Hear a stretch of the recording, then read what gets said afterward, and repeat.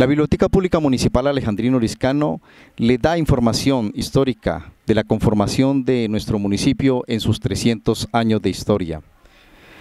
Vamos a continuar dando información sobre las organizaciones que han hecho parte de nuestro municipio y que fueron parte relevante en la formación de nuestro municipio.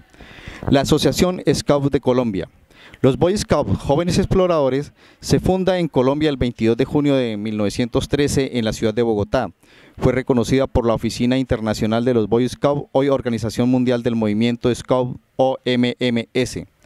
La misión del movimiento Scout es contribuir a la educación de los jóvenes a través de un sistema de valores basados en la promesa y la ley Scout para ayudar a construir un mundo mejor donde las personas son autosuficientes como individuo y juegan un papel constructivo en la sociedad diseñando programas, planes y proyectos para colaborar en la formación integral y permanente de niños, niñas y jóvenes, fomentar su desarrollo físico, mental y espiritual e inculcarle virtudes sociales para hacer de ellos buenos ciudadanos, útiles a sí mismo, que presenten a su comunidad los servicios que esta, esta requiera y que cumplan con sus deberes para con Dios, la patria, su hogar y sus semejantes.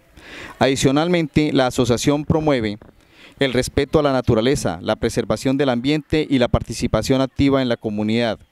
Es así como en 1979 el sacerdote Héctor Polanco Gasca, párroco de nuestra comunidad, organiza los Boy Scouts Jóvenes Exploradores en nuestro municipio.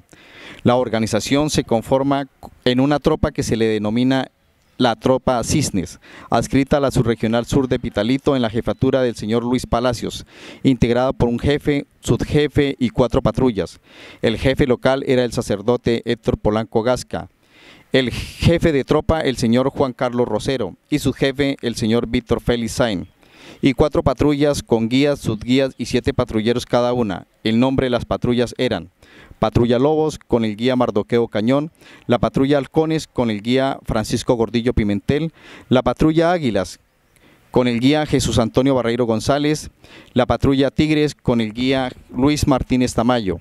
La tropa Cisnes, en el tiempo que funcionó, lo hizo con la premisa de realizar una buena acción diaria. Guadalupe, 300 años, porque el que no conoce su historia no conoce su pueblo.